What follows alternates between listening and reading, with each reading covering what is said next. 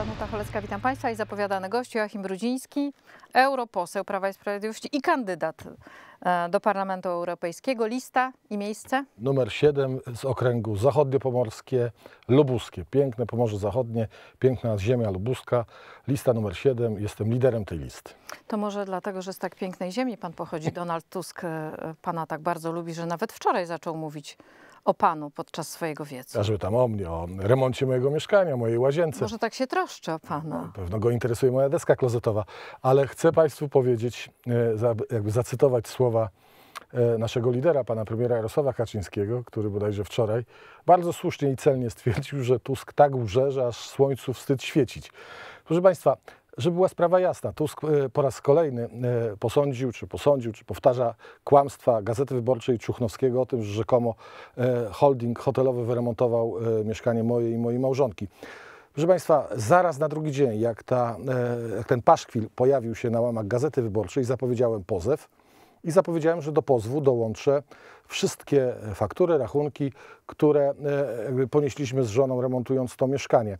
Nigdy. Musiałbym e, chyba wywodzić się z Platformy Obywatelskiej albo kierować się takimi standardami, jakie obowiązywały, obowiązują w Platformie e, tej partii, e, na czele której stoi Tusk, żeby i być głupi jak kilo gwoździ, przepraszam za takie określenie, żeby będąc marszałkiem, wicemarszałkiem Sejmu, ministrem spraw wewnętrznych administracji, w końcu od wielu lat posłem, politykiem, remontować swoje prywatne mieszkanie za pieniądze państwowej spółki. Powtórzę, Tusk łże tak, że aż słońcu wstyd świecić. A jak go interesuje moja, bo mówił wczoraj coś o mojej łazience, jak go interesuje moja deska klozetowa, e, czy spłuczka, to mu zrobię zdjęcie i wyślę.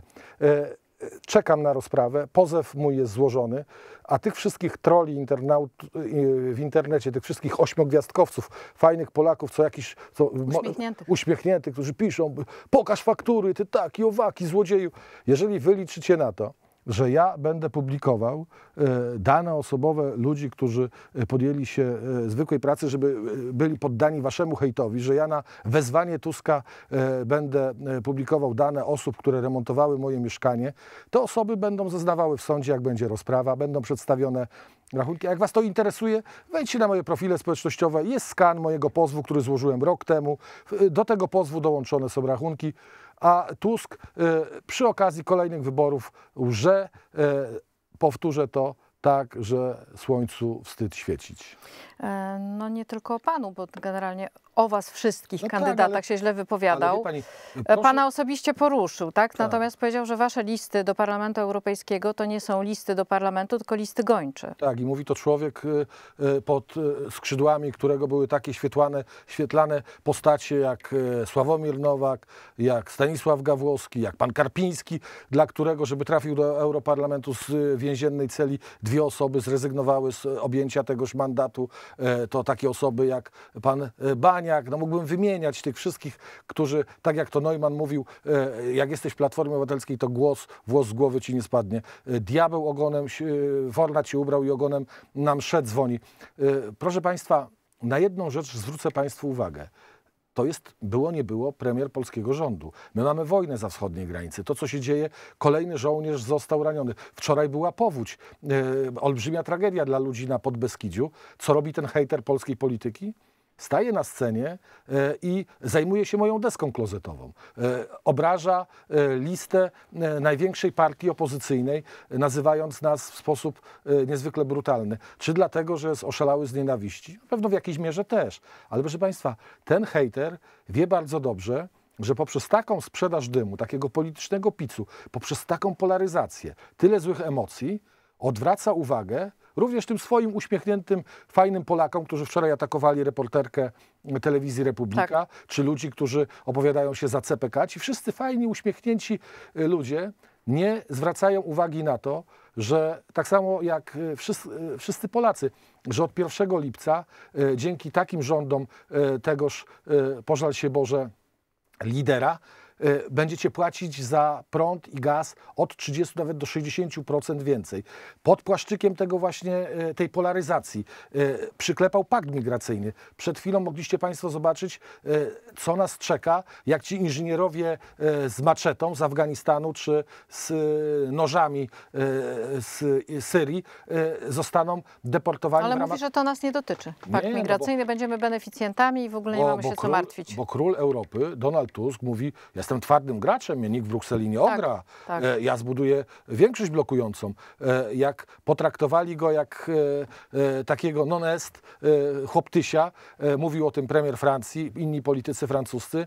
I y, musiał y, przełknąć tę żabę i okazało się, że został zmuszony do tego, y, bo przecież nie bez powodu von der Leyen wysłała go tutaj do, do, do Polski, delegowała go, żeby remember Donald mówiła, idziesz tam, ale pamiętaj, musisz tu wrócić. Po co? Żeby klepnął Niemcom pakt migracyjny, żeby klepnął Niemcom i Francuzom, żeby klepnął uznanie wyższości prawa unijnego nad polską konstytucją, żeby klepnął dyrektywę budowlaną. Ale podobno to ma być podobno na razie cicho, jeśli chodzi o zmianę traktatów.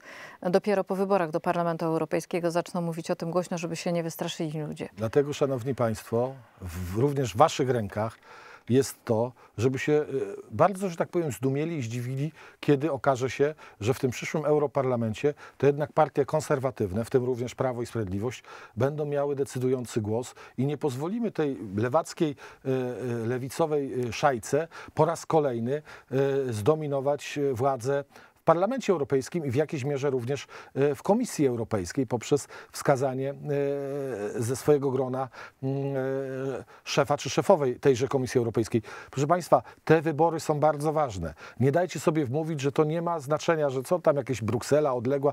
W tej Brukseli zapadają decyzje nie tylko dotyczące Waszych dzieci, waszych wnuków, ale również waszego codziennego życia, waszych rachunków za energię elektryczną, całe szaleństwo klimatyczne. 9 czerwca w najbliższe wybory, najbliższą niedzielę idźcie na te wybory. Bardzo pokornie o to proszę. Zarówno mieszkańców Pomorza Zachodniego, ziemi lubuskiej, m, ale również całej Polski. To są ważne wybory. Lista numer 7, Prawo i Sprawiedliwość. E, Panie Marszałku, 3,5 tysiąca osób i to są dane prawdziwe, nie nieoficjalne, od niemieckiej Policji Federalnej, to dziennikarka Aleksandra Fedorska e, otrzymała. Od 1 stycznia do końca kwietnia Niemcy przerzucili do nas. Nie wiadomo kim są, skąd się wzięli i tak dalej, ale przerzucili ich po prostu do nas. I oni są widywani w tym obszarze przygranicznym. Pokazywaliśmy dzisiaj cały felieton. E, Kolega Adrian Borecki jest tam na tamtych terenach. I jak do tego w ogóle podejść? Pani- Pani redaktor, no jestem y, mieszkańcem Szczecina, no kandyduję z terenów przygranicznych, właśnie ziemia lubuska.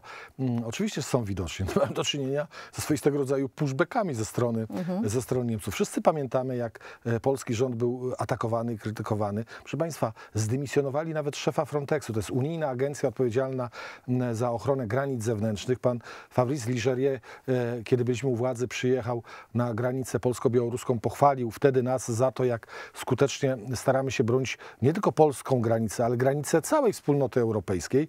Co oni wtedy wyrabiali? Co wyrabiała Agnieszka Holland? Co wyrabiała pani Ochojska, europosłanka Platformy Obywatelskiej? Co wyrabiali inni europosłowie w Brukseli? Pani Róża Tun, m, ale i pani Ewa Kopacz. Co wyrabiał sam Tusk, stojąc na granicy? No, Dzisiaj Marcin Kierwiński mówi, że on nie klaskał na tym. Na filmie, e, no ale Pani to, Holland. Ale być może był taki pogłos na tym filmie, że pan Marcin Kierwiński nie był w stanie do końca, tak powiem, rzeczywistości ogarnąć i może dlatego nie klaskał.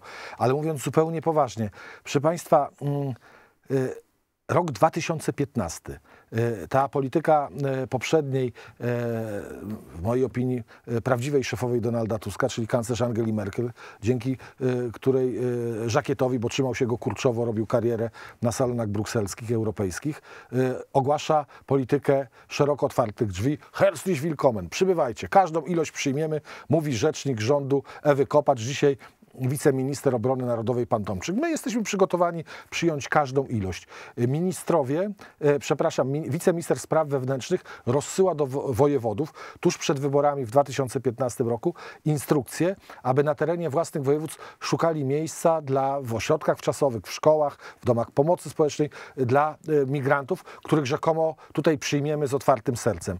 Bogu Najwyższemu dzięki Państwa głosom wygraliśmy wybory w 2015 roku. I od 2015 roku do 2023 Polska była bezpieczna. Rząd pani premier Beaty Szydło, rząd pana premiera Mateusza Morawieckiego, e, mój poprzednik na stanowisku ministra spraw wewnętrznych, jak również ja jako szef e, tegoż resortu, nigdy nie zgodziliśmy się na e, tę przymusową solidarność. Nigdy, zawsze konsekwentnie mówiliśmy, nie przyjmiemy nie, e, nielegalnych migrantów. E, Czy dlatego, że e, mamy zatwardziałe serca? Nie. No tak, tak, taka, taka była narracja, Taka była narracja. przed wyborami. Jesteście bezduszni, to są biedni ludzie, szukają swojego miejsca na ziemi, mówił premier Donald Tusk, a wy jesteście bezduszni i w ogóle nie macie empatii. Dobrze, może byliśmy bezduszni i bez empatii, ale nie byliśmy idiotami, skończonymi idiotami, którzy prowadzą taką politykę, proszę Państwa, że de facto zachęcają kolejne setki tysięcy milionów nielegalnych migrantów, bo przymusowa solidarność, a właściwie przymusowa relokacja, e, co spowoduje?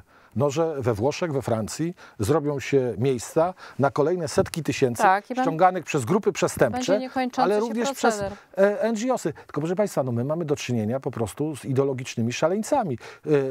E, Komisarz Johanssonowa, e, Johansson ze Szwecji, odpowiedzialna za e, bezpieczeństwo, wywodzi się z partii komunistycznej szwedzkiej. Partii komunistycznej, ona mówi, my potrzebujemy tutaj miliony nowych uchodźców. I będzie to wyglądało tak, jak dzisiaj próbują Niemcy.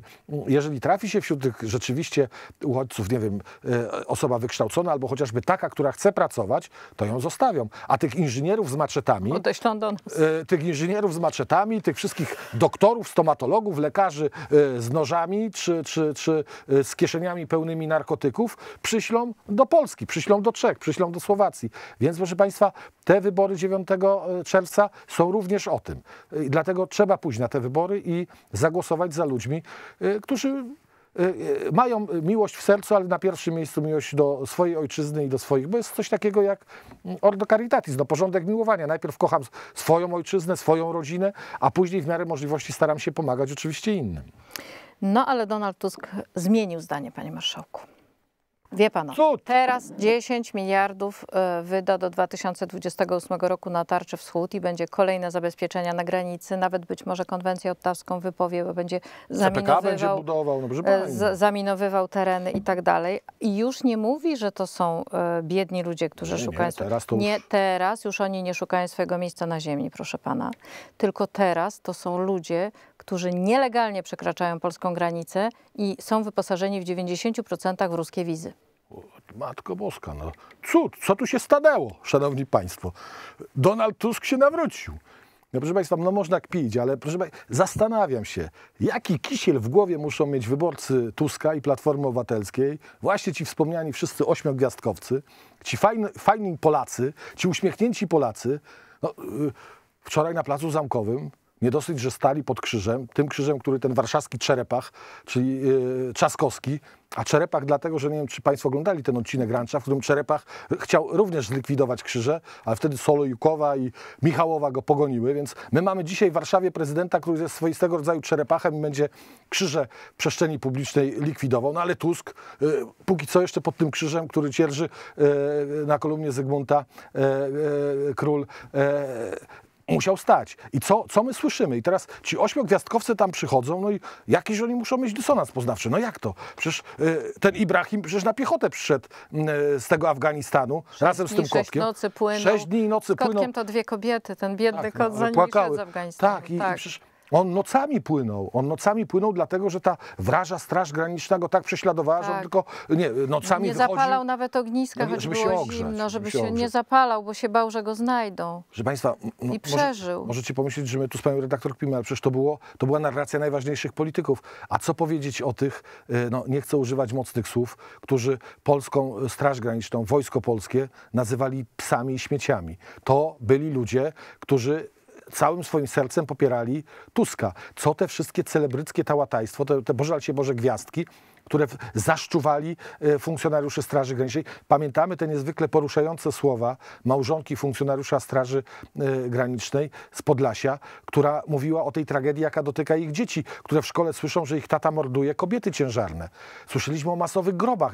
I teraz ten Tusk nagle nawraca się na ten, a jego wyborcy przychodzą i biją brawo. Tak, Donaldzie, teraz masz rację, 10 miliardów, będziemy budować bagna, e, sadzić tutaj, prawda, lasy, zasieki, może miny.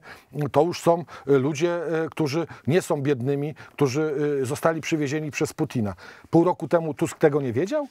E, A ci, co Właśnie. I to jest moje pytanie do pana. A może wyście tak e, źle przekonywali Tuska, że on po prostu nie miał świadomości, że to są e, ludzie, którzy są tu nasłani przez reżim Putina i Łukaszenki i po prostu naprawdę myślał, że to biedni ludzie i on po prostu tak naturalnie to zdanie zmienił. Tak, proszę pani, wtedy, kiedy kanclerz Angela Merkel właśnie robiła tę politykę otwartych drzwi, Herzlich Willkommen, to ten król ówczesnej Europy, e, czyli Donald Tusk jako szef Rady Europejskiej, straszył polski rząd, straszył rząd pani premier Beaty Szydło, e, straszył polskich obywateli, że będą nakładane kary, jeżeli my tych nielegalnych migrantów przyjmiemy. Tusk nie jest idiotą, proszę pani. E, I szanowni państwo, No tu jest, Tusk jest świetnie wyszkolonym, świetnie wyszkolonym e, Dlatego, człowiekiem. dlatego może tak ludzie oszukiwać, no bo to jest oszustwo. A to- a Taka to- zmiana zdania o 180 stopni. To, Gdzie my mamy pani, nagrania w ogóle z tych Ale wie pani, no, narracji jeżeli jego. ktoś ma odrobinę oleju w głowie, jeżeli ktoś ma odrobinę oleju w głowie, to w sposób oczywisty te wolty e, i, te wszystkie kłamstwa, oszustwa, czy e, ci e, fajni Polacy mm, ci pytają go o paliwo po 5,19, pytają go o kwotę wolną od podatku 60 tysięcy. Chodzicie za tym Tuskiem, bijecie mu brawo, łykacie jak pelikany, macie kisiel w głowie i, i nie mówię to po to, żeby Polaków dzielić, czy żeby was obrażać, bo nie można obrazić kogoś, kto, kto jest tak zaimpregnowany na e, rzeczywistość, na to, co się wokół niego dzieje. Jak można tego typu woltę o 180 stopni przyjąć?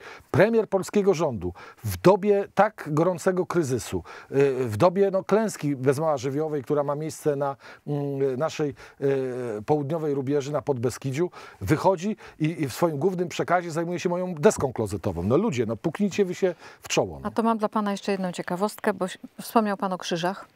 I okazuje się, że te krzyże to nie było tak, że Rafał Trzaskowski usiadł i wydał takie zarządzenie. On zrobił konkurs. E, 130 tysięcy złotych dostała fundacja, która specjalnie pod ten konkurs i nazwę zmieniała, i statut swój zmieniała, żeby móc wziąć udział w tym konkursie.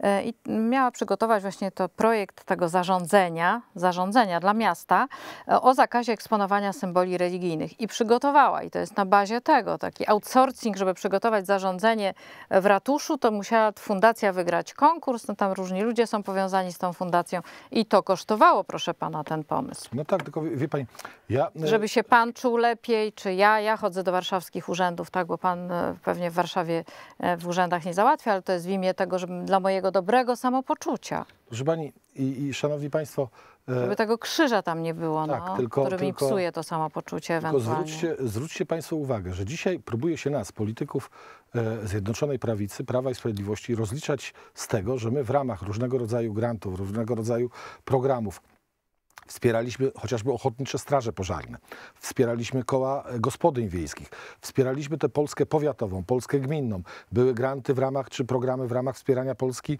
tych terenów popegerowskich.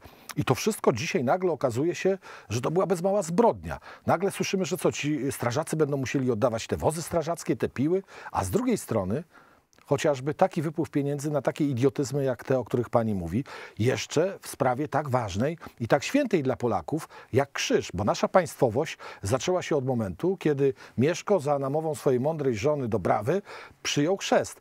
Czyli nasza państwowość rozpoczyna się od krzyża, od krzyża, który się tutaj pojawił. Na, w, ramach tej mądrości mieszka nie e, z kierunku niemieckiego, tylko z kierunku czeskiego. Ale do czego zmierzam?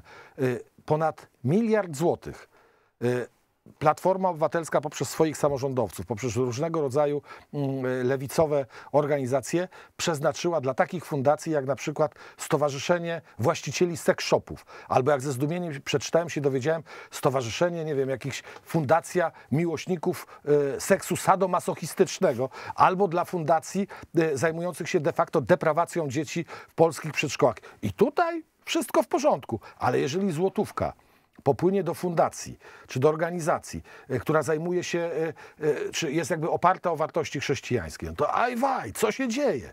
Proszę Państwa, dziś z przestrzeni publicznej warszawski Czerepach próbuje wyrugować krzyże, ale w tle Wie pani, ja sądzę, że ten cwany polityk, czyli Donald Tusk, e, ma też w tym swój interes, żeby ten warszawski czerepach się właściwie spalił, no bo jest oczywiste dla każdego, kto funkcjonuje w Polsce, że ten, który z krzyżem walczy, no może spodoba się jakimś właśnie miłośnikom seks shopów czy y, miłośnikom seksu sadomasochistycznego, ale już poza y, rogatkami Warszawy już niekoniecznie, żeby być prezydentem z krzyżem pomimo tego postępującej laicyzacji y, walczyć nie można.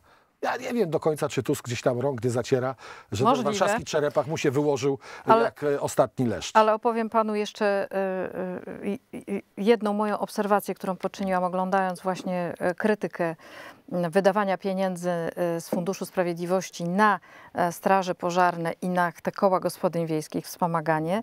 Dzielni reporterzy znaleźli panie z koła gospodyń wiejskich, które dostały lodówkę z tegoż funduszu. No I te panie mówią, ale tak, trzeba było znaleźć takie panie. I te panie mówią, a myśmy w ogóle tego nie chciały, wie pan, ale, ale no, no skoro dostaliśmy, to tylko potem same kłopoty z tą lodówką były, bo trzeba było ją naprawiać, no i w ramach gwarancji została wymieniona. To jest takie podsumowanie. Taki kłopot i taka kradzież to No tak, no, proszę pani, no właśnie o tym mówię. No dzisiaj na, na Wolinie podszedł do mnie jeden ze strażaków y, z y, wioski y, pod Wolinem, dziękując za wóz strażacki. Pozdrawiam wszystkich strażaków zarówno na Wyspie Wolin, jak i w całym województwie zachodniopomorskim. A jako były szef resortu spraw wewnętrznych, to pozdrawiam wszystkich strażaków, zarówno tych zawodowych, jak i tych ochotników, szczególnie tych, którzy dzisiaj pomagają ludziom e, w związku z powodzią. Też mam, wie pani, taką refleksję. Pięć lat temu też była kampania do Europarlamentu. E, wziąłem urlop u pana premiera Morawieckiego, żeby ten ostatni tydzień kampanii spędzić na Pomorzu Zachodnim.